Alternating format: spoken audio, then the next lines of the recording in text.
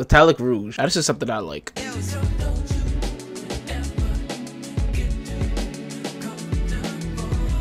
With Metallic Rouge, the first two episodes had me interested, but with episodes three and four, I had me hooked. But as always, let's before we get into anything, ladies and gentlemen, let's at least talk about the story first. With the story first starting off with two characters, one by the name of Rouge and the other one by the name of Sarah. Now Sarah is like a famous singer, and Sarah basically sees Rouge in the streets, and she sort of picks her up and sort of takes her under their wing in a certain way. In the midst of this time frame, Rouge is also talking to this bird for some reason, that is being controlled by none other than my wife Naomi, and Sarah is seemingly getting followed by this red mecha Mega Man Zero looking S character. But that's all I say for the story for now. I definitely want to just get into why I'm sort of really liking the show at this moment in time. Let me first get into two of the smaller fish in the pond before we get to the bigger one. So the first thing I want to talk about is one the fucking music right? The music actually had me in a bit of a chokehold ever since episode one where we see sarah just sort of singing her heart out to everyone that's in the club right now. Or even some of the themes that i do hear that's in i believe episode four. And honestly i cannot wait for the show to be over so i can get some of these osts for my videos. Yo if you have any of the links for any of these osts at all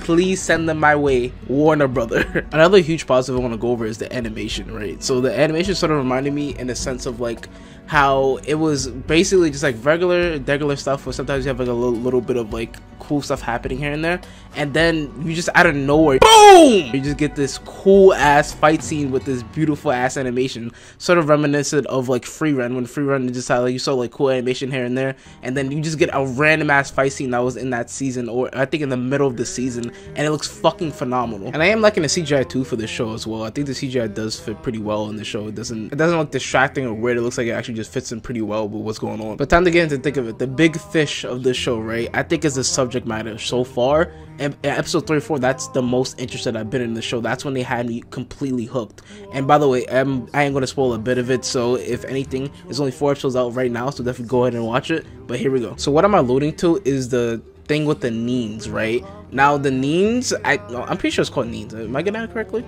It's because I know it's not fucking neon. Uh, it's definitely Neens. Definitely Neens. So with the Neens, they were a group of people that were made by humans. So basically artificial humans that come in sort of all different shapes and sizes, either young or old. They have really darker skin or they have really lighter skin to almost albino. And the three distinctions they have from humans, which is weird enough, is one the tattoos. Two, they need nectar to literally survive because without nectar, they literally die.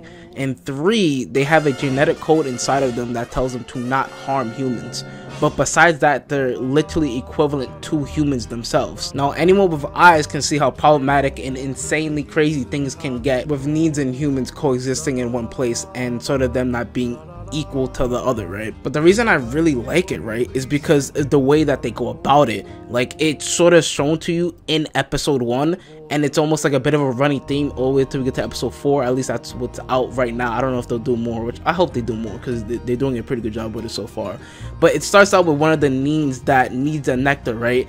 And his nectar gets stolen from him and he can't find it. So when he can't find it, he eventually goes out and dies. And just from this action, it just sets up basically how this is gonna go about, right? With one, the Neens and their need for nectar. Two, that that people actually will steal the nectar from these Neens and even if they're right in front of them begging for like them to save them if they have their own nectar they don't care. They literally will let them die. Reasoning being because this nectar to humans is basically like drugs. It's like cocaine crack. And it basically just like gives you a very good time or very good place of where you're at right now. With it being very sad and also really hard to watch. Oh yeah side note, i almost forgot why to say why the Neens were created. The Neens were created because they were a stopping measure to help fight out these bad aliens that were attacking humans at a certain point in time.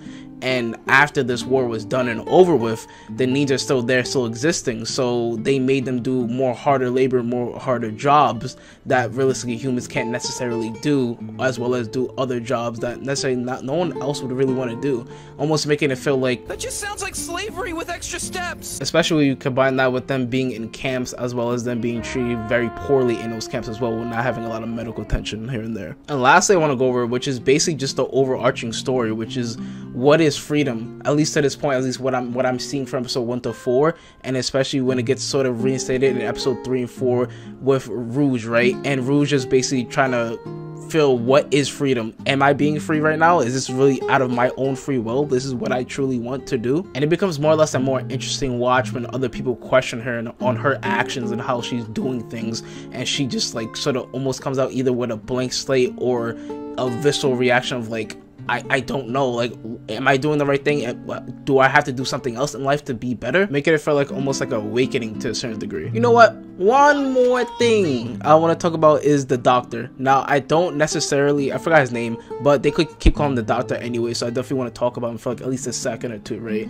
To me, the doctor feels like a broken toy. He feels like a toy that's been broken and you just can't really put it back together, at least back together the same way. What it feels like with the doctor, his mentality is completely screwed and fucked to a certain degree. He doesn't necessarily believe that Nin should really have any more of the rights, even though he's a Nin himself, but he believes that humans and Nins are basically the same thing and realistically they're just going to keep asking for more and being more greedy to a certain degree. Making it really feel like he doesn't really care right? In a sense of not caring about himself or maybe even others to so much to the point of like just self-destructing even if it takes like everyone else with having just a really cold heart from the way he sees the world and and just not really giving a shit about anything or anyone around him. But I definitely super highly suggest Metallic Rouge right now. I think it's pretty fire right now for the first four episodes and I'm definitely gonna come back when I, we at least like pretty much finish the season, I'll come back afterwards. But other than that, thank you guys for watching. Like it, comment, subscribing. See you guys in the next one. Peace.